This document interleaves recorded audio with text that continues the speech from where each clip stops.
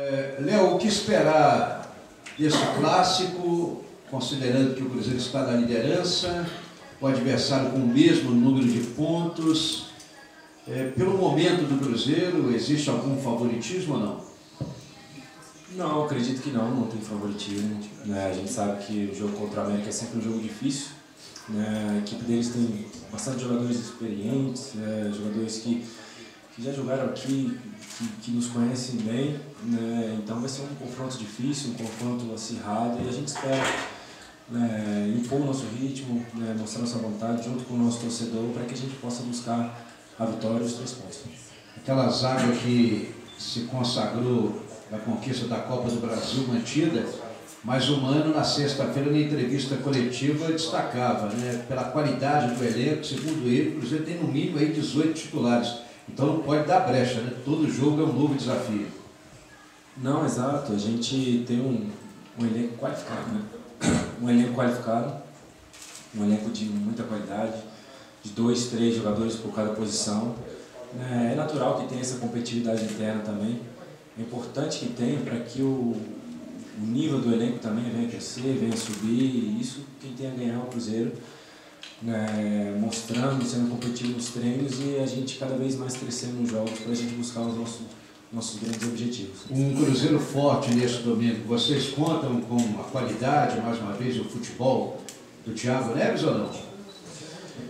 A gente não sabe ainda como está né, a situação dele, mas que é um jogador de muita qualidade que é, a gente sempre espera né, que ele esteja nos ajudando, venha colaborar aí, mas a gente espera ainda o resultado ainda do, do departamento médico. Léo, esse público que se desenha, né, essa sintonia já no início de temporada, time, torcida, comissão técnica, diretoria, enfim, o que, que isso pode render para o Cruzeiro de frutos a um curto, médio prazo aí nessa temporada? Né?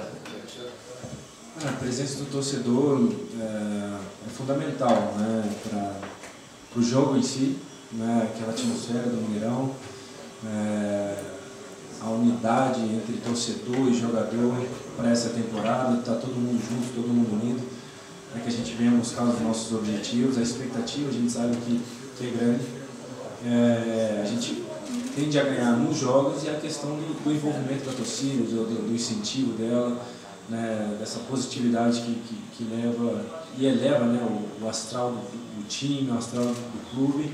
Isso é importantíssimo para que a gente possa seguir a nossa caminhada junto com o torcedor presente, o torcedor lotando o estádio, para que a gente possa vencer as partidas e buscar os objetivos. Esse jogo contra o América é o primeiro duelo aí contra um time de Série A, né? O América voltando a disputar o Campeonato Brasileiro na elite. Você acha que pode ser um teste aí para esse início de temporada, num mês importante, que vai marcar a estreia na Copa Libertadores?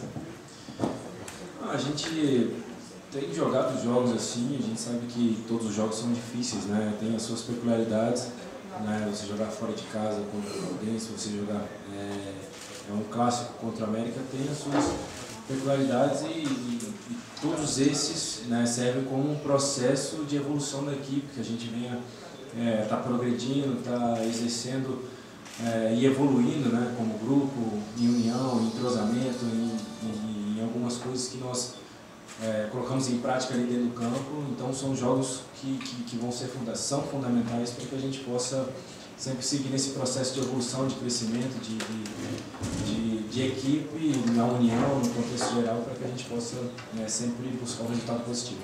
Léo, você falou do torcedor, né? Ontem até falei com o Mano Menezes que a mensagem que o torcedor está passando para esse elenco, para essa diretoria, é que ainda está 100% fechado, está acreditando, lotando o Mineirão, mais 50 mil ingressos vendidos. Qual que é a mensagem que os jogadores passam de volta para o torcedor que resolveu abraçar e está 100% fechado com o Cruzeiro para essa temporada?